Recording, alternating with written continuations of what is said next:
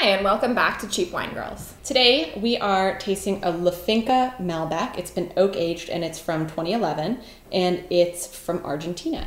This was a bottle that our friend Karina recommended. We are excited to try it out. Another thing we're gonna try with this wine today is based on an article that we recently read.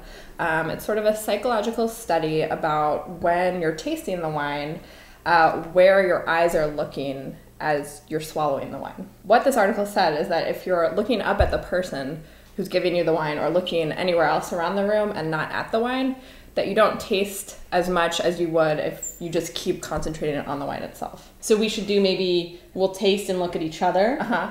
and then we'll taste and just look at the wine Right. and see if there's a difference. Okay. All right.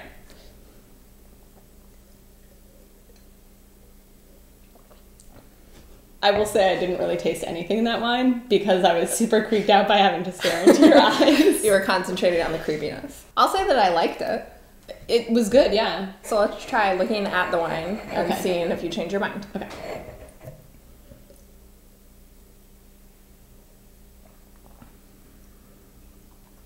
I think that study's right.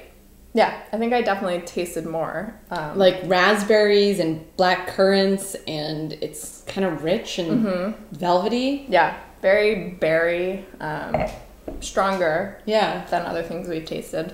I don't know that my opinion of the wine changed. No. I think I like it either way. Mm-hmm.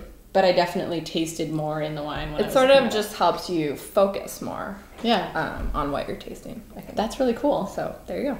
Yeah, weird psychological experiments. I really like this wine. I like this wine too. It has some tannins. It's not that. It doesn't have the kind of like.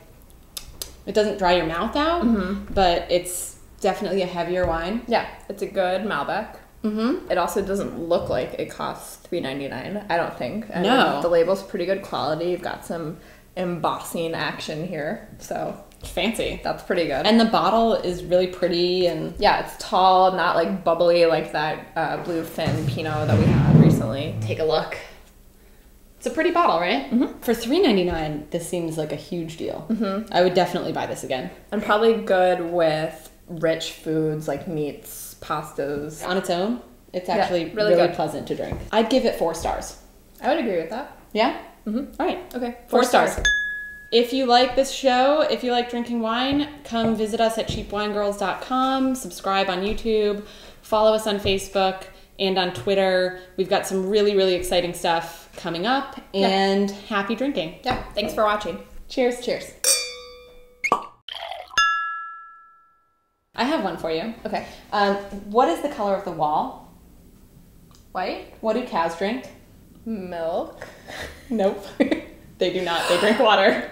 Oh, I was thinking Works about every time.